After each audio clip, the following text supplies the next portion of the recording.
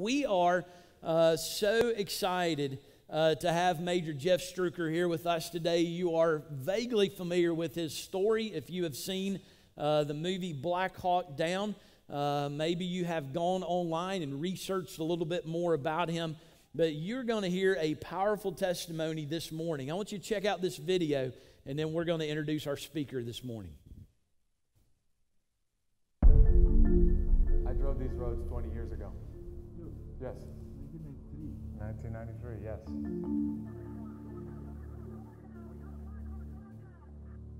All right, so anything on your right should be the Wolcott crash site. I was parked right here. In fact, if you look at all the bullet holes around here, most of these are from us.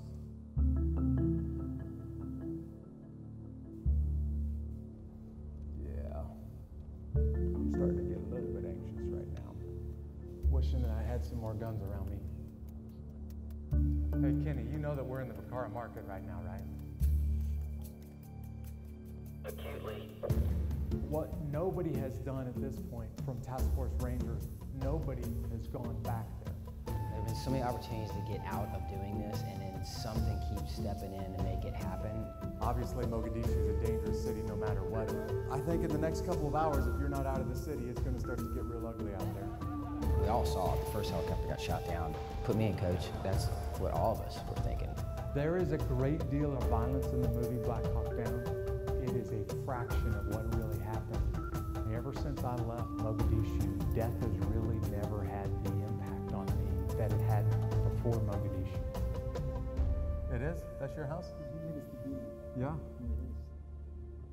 Hey, we did a lot of shooting back here 20 years ago by your house. You may welcome to Liberty this morning a great American hero, Major Jeff Struecker. Thanks, Ryan. Thank you, man. Thank you very much. Thank you. Thank you very much. I have been looking forward to this for some time. Liberty, thank you for inviting me to be with you on Freedom Sunday. And for all of you that are here, I'm excited to be with you. For those that are at the Fort Oglethorpe campus, I hope this week has been a great celebration of your freedom. If you've got a Bible, I'm going to ask you to open it up. You don't have to turn there just yet, but we're going to take a look at one verse in the Bible. It's found in John chapter 8. Just go ahead and flip that open, put something in there, a little bookmark, and I'm going to take a few moments to give you a little bit of my story and try to help you ex- understand what Jesus is saying in John chapter 8 because he talks about freedom in this passage of Scripture in ways that I think a lot of people in his day didn't understand what he meant. And quite frankly, if you were to a- uh, interview the average American, I don't think they would understand what Jesus is talking about until you come into a room like this and meet folks who have been transformed by the blood of Jesus Christ, and we understand freedom in ways that people that don't know Christ will never get it. So, I'll tell you a little bit about how I ended up in the Army and eventually how I ended up in Somalia and the events of Black Hawk Down. I grew up. Um, I, I, grew up with, with parents that divorced when they were when I was pretty young. I didn't grow up in church. In fact, my family really never went to church except for maybe for a funeral. And I also grew up moving from place to place. So I didn't really have a, a much of a, a, family background, much of a church background.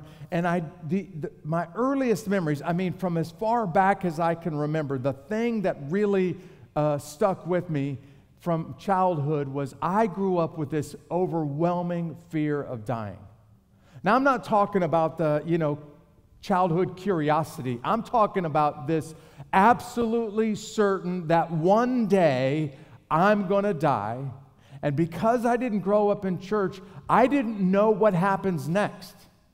So I can tell you for years, I'm talking seven, eight, nine, ten years old, I would wake up in the middle of the night totally terrified about what happens to you after you die. I'd wake my family up and I'd ask my mother or my sister the same question over and over again. I'd ask them, What happens to you after you die? And where do you go? And what is it like? And my family didn't go to church. They didn't know the answers. They just gave me the same standard answer that they had heard when they grew up. They told me, Jeff, after you die, you go to heaven. And it's awesome up there.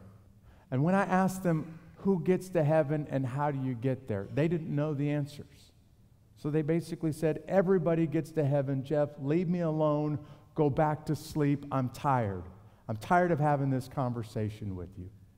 This went on for years till I was 13 years old. Because at 13, we moved as a family to a little suburb right outside of Nashville, Tennessee, and we were living in an apartment complex right next door to this young married couple. I don't even remember their names to this day, but this couple took me in and treated me like a little brother. They hung out with me, wanted to play games with me, always wanted to spend time with me. I don't even know why. But one night, instead of coming over to their apartment, they asked if they could come talk to me.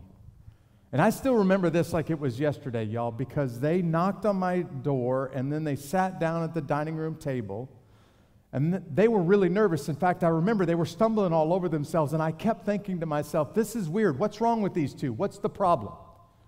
And they started to have a conversation with me. The first time in my life anybody really explained to me who Jesus was. They said, Jeff, we just want to tell you what happened 2,000 years ago when a man named Jesus gave his life up in payment for your sins. Jeff, we want to tell you what he did for us. And we also want to tell you how he can absolutely change your life. Now, these two didn't know me well enough to know that I was really wrestling with this fear of dying. And so they said, Jeff, if you will surrender your soul to Jesus Christ, He will change your life right here, right now. He will give you abundant life. But not just that, He will handle once and for all what happens to you after you die. And I think they were so nervous that they just kind of left it like that. Like, hey, if this makes any sense to you, here's what you do next. And then they kind of ran away and left the house. And later on that night, I started thinking about what this couple was saying to me. And that night, I knelt by the side of my bed and I surrendered to King Jesus, and he radically, totally changed me that night. 13 years old.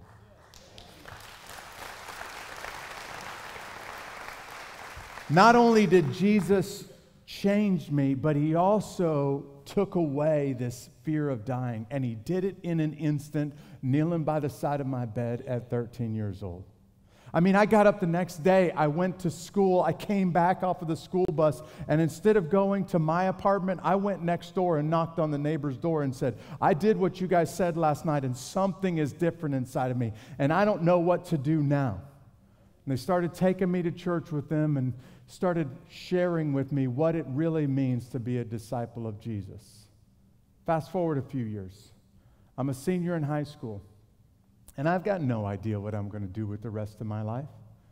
So one day, I'm just about ready to graduate. I go to talk to some Army recruiters. I go to the recruiter's office.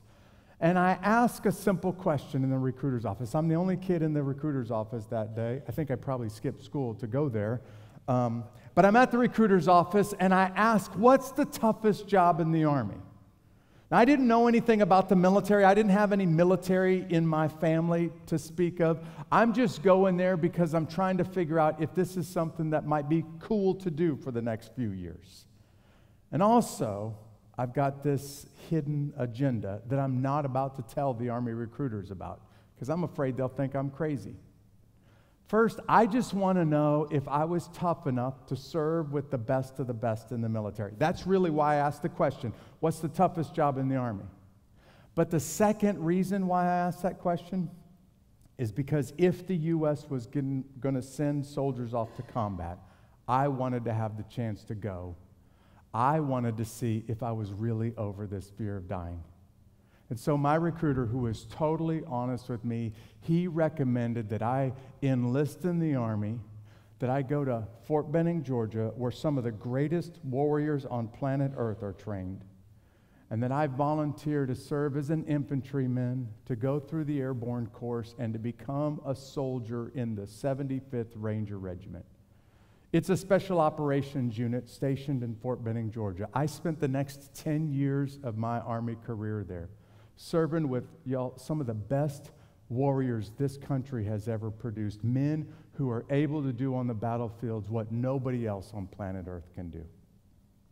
Now, I didn't tell my friends when I showed up to the Army that I really wanted to have a chance to go to war because I wasn't sure if I'm over this fear of dying.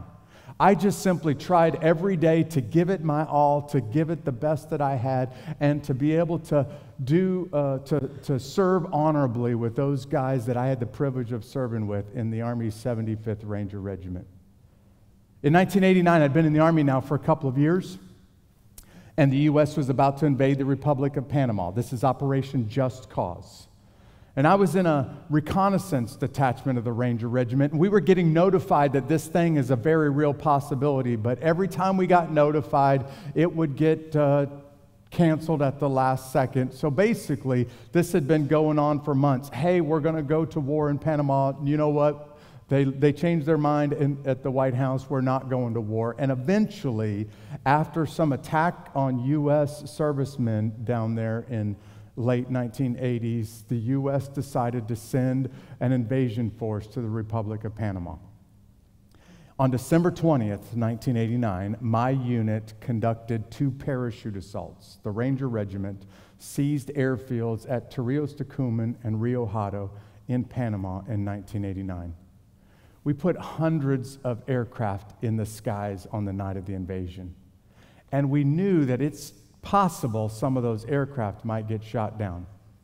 So I showed up about 24 hours before the invasion began and provided a search and rescue force for the air, uh, air, aircraft in the skies over the, over the country of Panama on the night of the invasion. For the next week or two, I was flying around Panama, hitting targets, trying to defeat the Panamanian Defense Forces. But really, what our unit's mission was, as part of the Special Operations Force, is to capture the country's leader, Manuel Noriega. And after about a week and a half, we had already cornered Noriega. About two weeks into this thing, we had him in our custody and flying him back to the United States to stand trial for some crimes against the United States. And I got into a couple of firefights when I was in Panama. But these weren't life or death kind of things. These were just pretty intense, put the training to the test kind of firefights. And when I got back from Panama, there was still a lot about the military, frankly, a lot about myself that I still wanted to learn. I do remember, though, um, writing a little note to my family right before I left for the invasion of Panama. And this note basically said if something happened to me when I was in war, here's the things that I regret not doing. And the number one thing on this note was I was head over heels in love with my high school sweetheart, but just didn't ask her to marry me. So, number one on my list was I'm going to propose, if I make it out of this combat uh, tour alive, I'm going to propose to my uh, high school sweetheart. So the first chance that I got after Panama, I bought a ring and flew back to our hometown. And I proposed, and Dawn and I set a date to get married about a year later. Now, if you're a history buff out there, you know that a year later, the U.S. is involved in Operations Desert Shield and Desert Storm. So I'm in Fort Benning, Georgia, in a special operations unit She's halfway across the country in our hometown. We've already made all of the arrangements. We've set all of the details. We're just a few weeks away from our wedding day, and we've had a lot of plans and a lot of preparation. And then I had the chance to make a phone call, which almost never happens in a special operations unit because what they do is classified. I convinced my commander to let me make a phone call. And here's what this phone call went like. I said, Dawn, uh, I'm calling you over a non-class, uh, un- unclassified phone line, so I can't tell you where I'm going, and I'm not authorized to tell you when I'm leaving or where I'm going to, and I don't know when I'm going to get back. But I'm pretty sure I'm not going to be in the country on our wedding day. And this is before the internet, right? So this is, there's no way to pull this thing off um, if you're halfway around the world from one another. And I remember there was a long pause on the phone, and she said, Jeff, if you're going to war again, we need to get married right away. I said, wait a second, I didn't say the word war. Nobody said anything about that. I just said I'm not going to be in the country on our wedding day. She may not remember this, but I tell you, she said, don't play games with me, Jeff. If you get killed, I want the flag if you're going to war again, if you're going to war, we need to get married right away. And I did what any smart man in this room would do. I said, Yes, ma'am. And I got on a plane and I flew back to our hometown. My plane landed at noon, and at 2 o'clock in the afternoon, two hours later, we were getting married in our family church and then flying right back to Fort Benning, Georgia. And eventually, on my way to Kuwait as part of Operation Desert Storm. I got in a firefight in Kuwait too, but it's nothing like I experienced in Black Hawk Down. In fact, that little video clip tells you that if you've seen the movie Black Hawk Down, it doesn't even show you a fraction of the real violence from the real thing. So by the time that I get to Somalia in 1993, I've been in the Army for six years. I'm a 24 year old squad leader. I've got 10 men that I'm responsible for. And my job is to get Humvees in and out of the city every time Task Force Ranger does a mission in Mogadishu, Somalia. I won't go back over all of the details of Somalia, but I will say this the U.S. and the United Nations were over there as a peacekeeping force to provide food to people, hundreds of thousands of people who were dying from starvation. Literally, I think when we showed up, there was already 350,000 people dead from a famine and starvation. And the United Nations, you maybe remember the Marines landing on the beaches in the December of 92 just to provide food to people starving to death there were some warlords, these are like gang leaders, in the capital city of Mogadishu who were fighting each other. And one of those warlords made the decision to start to target United Nations workers and start to attack U.S. supply convoys. So he started to set roadside bombs, blowing up U.S. supply convoys when they drove through the city streets. And in June of 1993, he ambushed and murdered 24 United Nations workers. This caused the UN Security Council to meet together. And the UN Security Council said something must be done about this warlord, a man by the name of Mohammed Farah Aidid. Somebody has to remove this guy from power.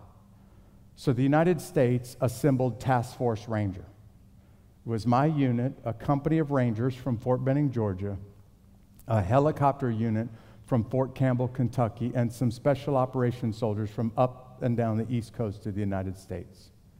We went over there with a very different mission. We're not trying to hand out food. We're trying to capture some bad guys if possible, and if not, we're just going to kill them and take them out of the equation. Task Force Ranger did seven missions while we were in Somalia, and each one got a little bit more difficult. But the seventh and final mission we launched on Sunday afternoon, October 3rd. Now, I guess I should tell you this. Um, it's the middle of daylight. This is a, a tip that we get that two of the really high ranking leaders from the Aidid clan are meeting in the same building at the same time in the Bakara market, the part of town that's the most dangerous, at the part of town that's controlled by Aidid. And we knew this was going to be bad going into this thing. But at this point, we've been there for about three months. We thought this was going to take maybe six or eight weeks. And we were getting a lot of pressure from the Clinton administration to wrap this operation up and to get out of there. In fact, the news had started to call Somalia another Vietnam. And Clinton decided, get this thing over with and get out of there as quickly as possible. I'm telling you this because special operators almost only do business at night. And we decide to go do this thing in the middle of the afternoon in broad daylight. And we all knew this is going to be bad. None of us knew how bad it was going to get. So we launch this mission, and Black Hawks fly in, and Rangers slide down the ropes. They call it fast rope to the four corners of the target building. Special operators fly in on Little Bird helicopters and assault the target building. And as all of that's going on, I ride in with my squad on a bunch of Humvees and provide some vehicles to get the bad guys and place them on our vehicles. Then everybody flew in by helicopters. We'll put them on our vehicles, and we want to get out of there in less than 30 minutes, or else this is going to go really bad for us. When those helicopters were flying in, and when the Rangers were sliding down the ropes, one of those Rangers, just like you see in the movie Black Hawk Down, missed the rope. His name is Todd Blackburn, and he fell about 70 feet, and he landed in the city streets head first. So my commander, Colonel Danny McKnight, called me as soon as I arrived to the target building and saying, said, Jeff, I need you to go get to Todd Blackburn put him on your Humvees, and get him back to our base and get him immediate medical attention. We didn't think that he would make it through the rest of the night. We were already getting gunfire as soon as I arrived at the target building that day. I placed Blackburn on a stretcher with a bunch of medics working on him on a Humvee, split my men in half, put half of my guys on a vehicle in front of them, and the other half of my guys on a vehicle behind them, And we're going to provide some guns just to get them out of the city and to get them back to our, our surgeon. When we were driving out of the Target building that day, I made a right turn onto a small road, a road that's about half the size of this room. And this little three vehicle convoy, going very slowly down these bumpy roads, got ambushed from 200 different directions at the same time. I can't even describe for you the gunfire because it was coming from rooftops and alleyways. People were lobbing hand grenades at us out windows and automatic gunfire from both sides of the road hitting us from every direction. I had a guy on a 50 caliber machine gun who was holding the trigger down and spraying bullets in every direction, trying to return fire. And he really wasn't being very effective that way. So I told him to take his machine gun and face it to the left and pick up all of the enemy fighters to the left. Another guy sitting behind me also had a machine gun. I told him to take his machine gun, face it to the right, pick up everybody to the right. I'd take care of everybody in front of us Another guy in the back seat would take care of everybody behind us. And now, y'all, we're just fighting for our lives, trying to make it back to the base. And down the road, on the right side of this Humvee, hiding in ambush waiting for us, was a Somali gunman. And when we got right next to him, he saw this machine gunner, a guy by the name of Dominic Pilla, at the same time that Pilla saw him. These two guys turned their weapons to each other and they shot and killed each other at the exact same instant. And just like you see in the movie Black Hawk Down, I have to make a radio call and tell my boss that Dominic Pilla has just been killed instantly. He's KIA.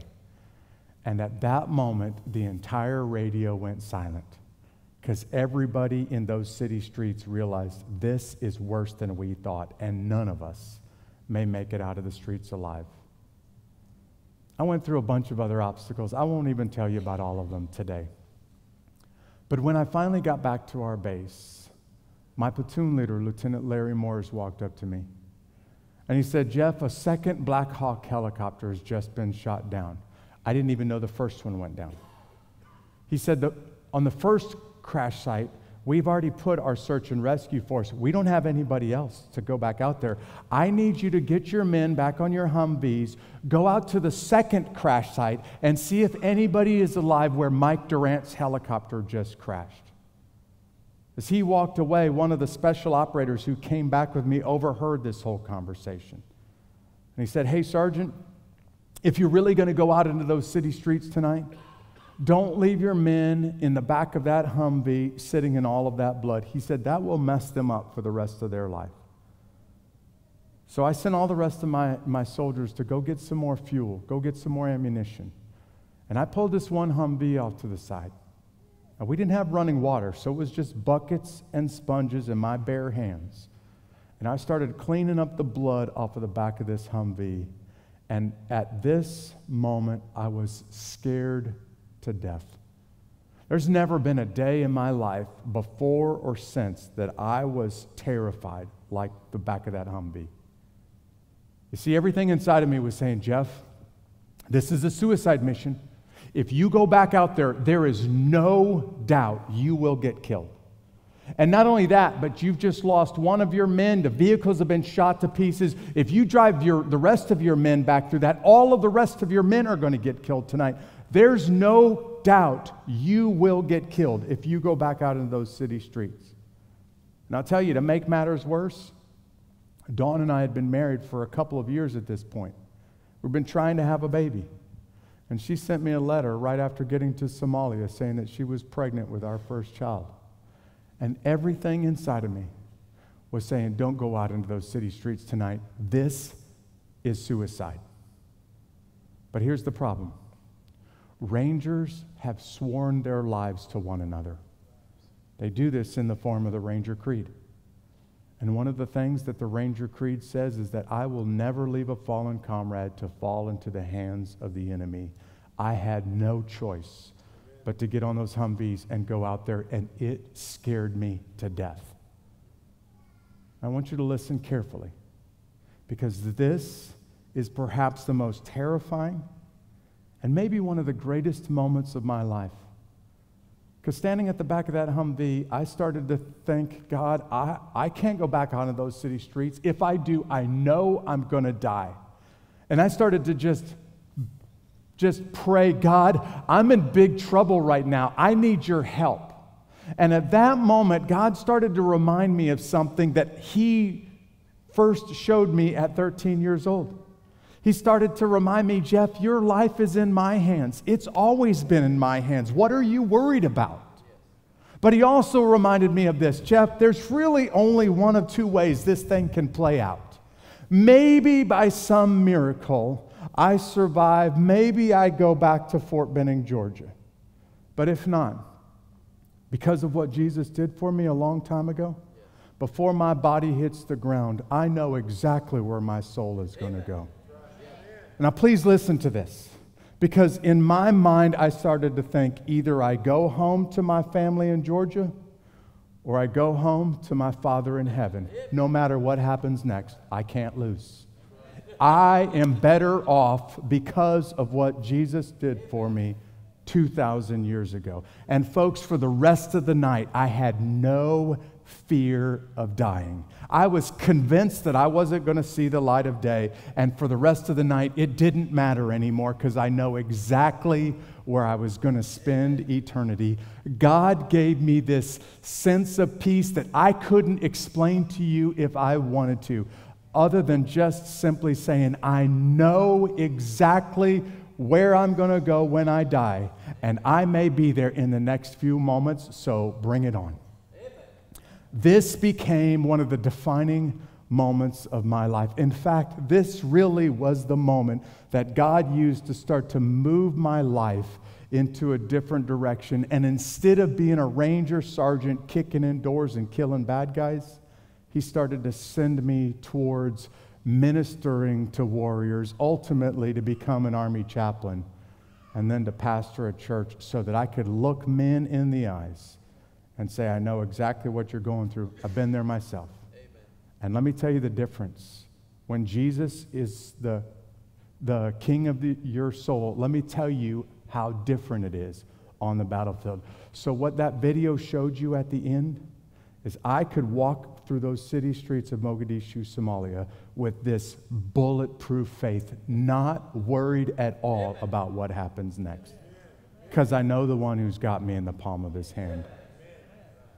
Now, can we take a look at a verse in the Bible and where Jesus describes this for some of his listeners? Because I think now you may be able to understand what Jesus is saying in John chapter 8.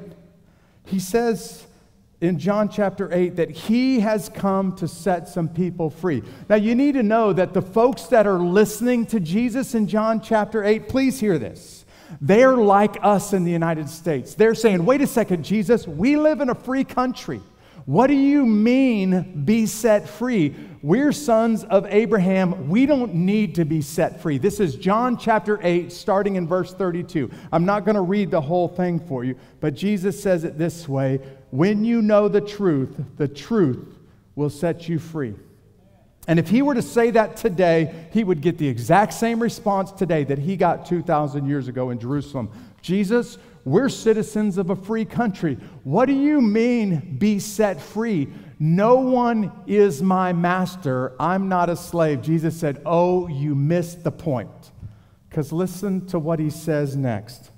John chapter 8, verse 34. Truly I tell you, Anyone who commits a sin is a slave to sin. Jesus said, You missed what I'm talking about. I'm not talking about slavery on the outside. I'm talking about slavery on the inside. The same kind of slavery that I had to sin and I had to the fear of death as a young boy. Anyone who commits a sin is a slave to sin, and a slave doesn't remain in the household forever but the Son remains forever. He's talking about heaven and the Father and the Son. Verse 36. So if the Son sets you free, you will really be free. Or your translation may say, you will be free indeed. Liberty, can I tell you something? Jesus came to give you a gift that you couldn't possibly purchase for yourself. And that gift is the gift of freedom, but not freedom on the outside. He came to give you freedom on the inside. He came to set free your mind from the slavery of sin, the temptation that continues to trip you up over and over again. He came to set your soul free from the bondage of sin. And listen to me, y'all, you can't wash this off. You can't be a good man or a good woman and do enough good deeds to outweigh your sins. That's not how it works. You can't even pray hard enough. You can't give enough money in the offering plate to buy your freedom from this one. No, the Bible makes it very clear. The wages of sin, if you know the rest of the verse, say it out loud, is death. Somebody is going to have to die for this. And Jesus says, instead of you dying for it, I'll die for you. Just like those brave men who started, those founding fathers who, who began uh, this American experiment, who tried to create the freest society in human history, most of those men were willing to pledge their lives, if that's what it takes, to make you free. You did nothing to deserve this. Jesus said, I've come to do this for you, and I'm offering you a gift.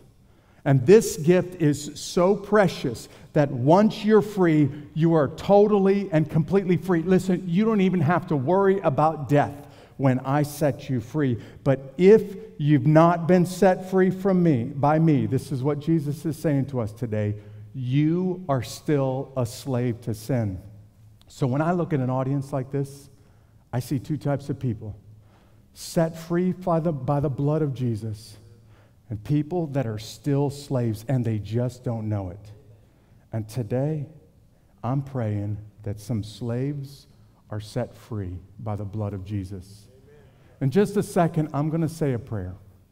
And I'm going to pray that somebody in this room, maybe a number of you in this room, reach out and you receive the free gift that Jesus is offering you today. You take the gift of freedom that, as Pastor Brian said just a moment ago, that freedom came at a heavy cost. In fact, for God, that freedom cost God everything so that you could be made free. And today, He's offering it to you.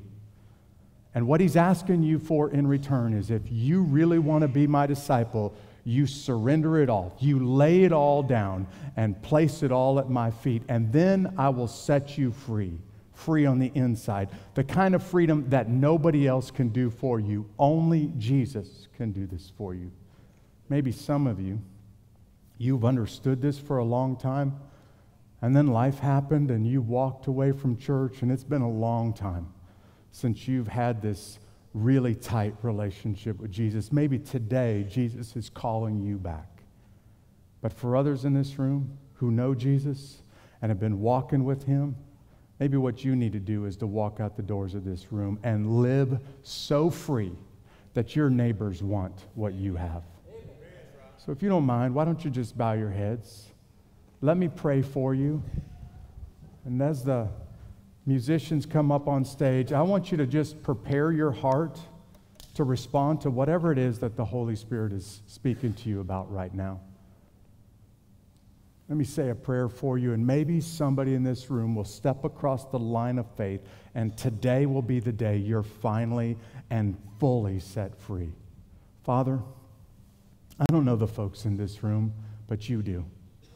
And you love them, and you've given up your son as payment for their sins which says if it was humanly possible for us to get to heaven on our own, like if we could be good enough or if we could be religious enough to get there on our own, you didn't need to do this. But God, you know that once you're a slave, a slave is a slave forever until someone steps in and gives them freedom.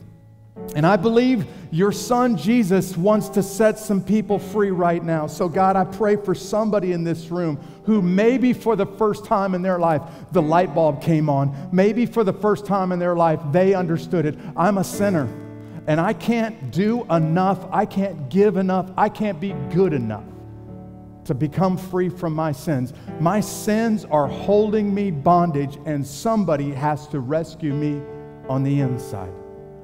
And that's why you sent your son Jesus, who lived the perfect life, who died the payment for my sins. And then they took that body off of the cross and laid him in a tomb. And three days later, the man who was dead came back to life as proof of his message. Not only that, but proof that all who believe in him, though we die, we will still live again. And God, I pray that right now somebody in this room will just cry out a simple prayer of faith. Maybe silently in their heart, they would be willing to say something like this God, I'm a sinner. I can't be good enough. I see it today. I can't do anything to become free from my sin, but you love me. And you sent your son Jesus to rescue me. He went on a suicide mission for me. And right here, right now, God, you know me. You know this is real. Right now, God, I am turning from my sins. I'm laying it all down and saying, with your help, I'm turning my back on all of those sins and I'm not going to live like that anymore. And God, right here, right now, between me and you, I am turning to your Son, Jesus, and I'm surrendering it all to Him. Holy Spirit, if that prayer is real, you know it. If it's coming from a sincere heart, you honor it. And I believe you can transform somebody right in their seat right now. Father, maybe somebody in this room is like the prodigal son or daughter who's made some mistakes even after they knew Jesus and their life got complicated and they messed up and they walked away. And today, you're drawing them back to yourself. In just a moment, would you give them the courage to come down front and to let some of these counselors know the decision that they're making? And for the believers in this room, the men and women who have been bought by the blood of Jesus Christ, when they walk out the doors of this room, would you make them the kind of witnesses that people all over the state of Georgia, all over the United States, all over the world see these men and women are different. They've got something that's transformed them, they've got something that I want because they live their life without fear. They live their life free, fully free by the blood of Jesus. God, do what only you can do right now. And would you receive the glory as people respond to your gospel this morning? I pray this in Jesus' name. Amen. If you're making some kind of commitment in just a second, I'm going to ask.